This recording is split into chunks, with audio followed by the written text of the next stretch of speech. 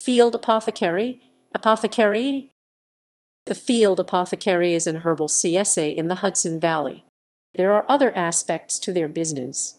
It is a C.S.A. share apothecary providing teas and herbs and so on to subscriber customers, founded by Dana and Michael Eudy.